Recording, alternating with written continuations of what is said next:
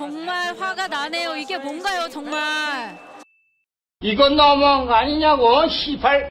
예, 안녕하십니까. 상식의 흐름을 다 센서 스티브입니다. 화산은 정말 강력한 자연재해 중 하나입니다. 어떻게 보면 지진보다도 강력한 자연재해인데요. 화산 폭발로 인해서 역사 자체가 바뀌는 경우도 종종 있습니다. 예를 들어서 폼페이 화산 폭발은 너무나도 유명한 사례고요. 아이슬란드의 라키 화산 폭발은 전 유럽에 이상 좋은 현상을 일으키는 바람에 프랑스 혁명의 원인이 되기도 했습니다. 근데 문제는 우리도 꽤 가까운 곳에 이런 화산이 있다는 게 문제입니다. 바로 오늘의 주제이기도 한 백두산입니다. 자, 그렇다면 바로 시작해서 백두산이 지금 당장 폭발한다면 어떤 일이 일어나는지 저와 함께 보도록 하겠습니다.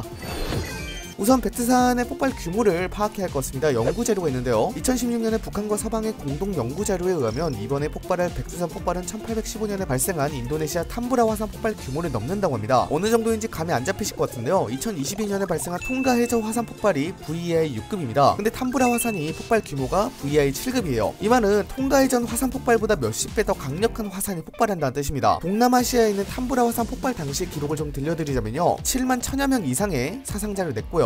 이때 나온 화산재가 반경 600km 지역을 3일 동안 캄캄한 밤으로 만들었고 또 이때 나온 가스로 인해서 당시 지구의 기온을 수년간 1도가량 낮췄다고 보고를 하고 있습니다. 어느 정도냐면 당시 대기로 퍼진 황은 현재 북극의 만년설이돌 1제곱킬로미터당 약 40kg이 남아있을 정도로 강력한 화산 폭발이었죠. 참고로 탐브라 화산이 터진 그 해는 여름이 없던 해라고 부를 정도로 파급적인 기후변화가 발생하였는데요. 이런 기록이 써진 곳이 유럽입니다. 즉 수천 킬로미터 떨어진 곳까지 영향을 준다는 말이에요. 이런 탐브라 화산보다 강력한 화산이 터진다니까 피해 상황을 조심스레 예측할 수 있었는데요. 백두산은 편서풍지대에 있습니다. 그래서 서풍이 불면 화산재 구름은 주로 동쪽 방향으로 이동을 하게 되는데요. 물론 그날의 바람장에 따라 달라지긴 하겠지만 통상 화산재 구름은 한경도를 지나서 동해를 건너 일본 홋카이도와 혼슈 북부를 통과해서 태평양 쪽으로 진행하여 화산재가 비처럼 내릴 것으로 예상됩니다. 그리고 좀 충격적인 연구 결과인데요. 천지 칼데라 주변 반경 약 85km까지 영향을 주는데 그 영향 범위 내의 지역은 완전히 초토화되고요. 동식물들이 소멸 파괴된다고 합니다. 백두산에서 85km면요. 이 정도입니다. 만주 지역과 해산 지역이 초토화된다는 거죠. 그리고 화산 폭발 시 들리는 분화음을 명동 현상이라고 합니다. 실제로 백두산에서도 939년 폭발적 분화에 의한 폭발음이 1000km 떨어진 일본 교토 남쪽에서 들렸다는 기록이 있기도 하고요. 946년 폭발적 대분화 시에도 백두산에서 465km 정도 떨어진 개성 지역에서 소리가 들렸다는 기록이 있습니다. 그리고 같은 시기에 1000km 정도 떨어진 일본 오사카 나라 지역에서도 들렸다는 기록이 있습니다. 그래서 아마 백두산이 폭발한다면 한반도 전 지역에서 명동 현상이 들릴 것으로 예상이 되고 있고요. 아마도 일본까지도 들리지 않을까 싶습니다. 저의 짧은 생각이 겠지만 통가 화산 때보다 더 강력한 화산이 폭발하는 겁니다. 근데 통가 화산 때는 이 명동 현상 1만 킬로미터 떨어진 알래스카에서도 들렸거든요. 그래서 저는 더 넓은 지역에서 이런 현상이 관측되지 않을까 싶습니다. 또 이것만 있는 게 아닙니다. VI 7급 이상의 거대 분화가 발생하면요. 화산체 정상부가 땅속으로 꺼져서 칼데라를 형성하는 칼데라 형성 분화와 같은 사건이 발생할 수 있습니다. 근데 이렇게 되면 화산체 주변 지역에 지진이 발생합니다. 더 큰 피해가 발생한다는 것이죠.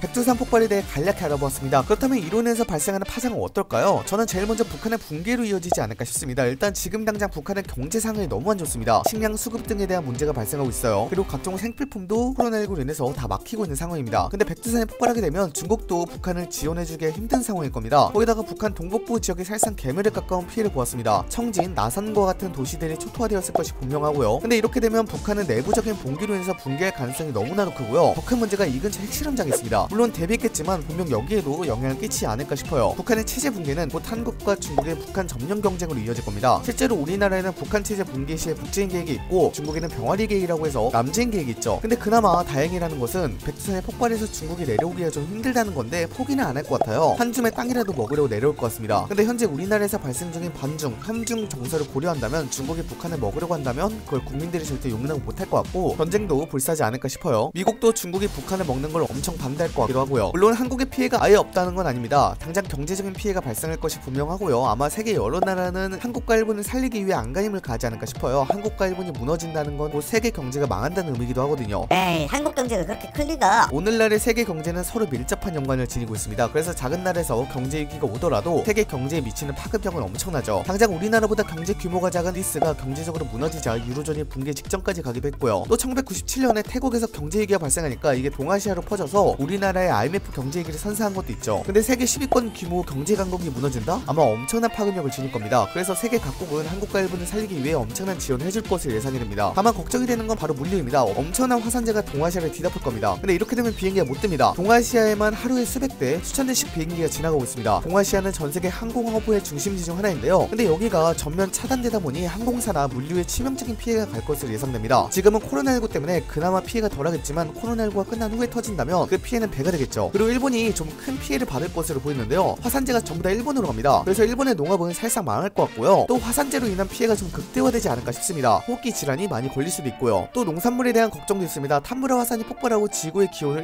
1도 낮췄다고 합니다. 백두산은 더 심할 거예요. 그래서 전 지구적으로 이상 좋은 현상이 발생하여서 세계사가 아예 바뀌어버린 경우가 많습니다. 프랑스 혁명도 그런 일례 중 하나고요. 그래서 아마 이런 이상 좋은 현상은 세계 어딘가에서 전쟁이나 분쟁을 일으키지 않을까 싶어요. 저는 아마 우크라이나가 대표적이지 않을까 싶은데요. 우크라이나는 아시 다시피 유럽 최대의 밀 생산 지역입니다. 근데 지구 기온이 떨어지다 보니까 우크라이나 밀 생산에 크나큰 영향을 끼칠 것 같고요. 이로 인해서 오늘날 발생하고 있는 분쟁에도 크나큰 영향을 끼칠 것 같습니다.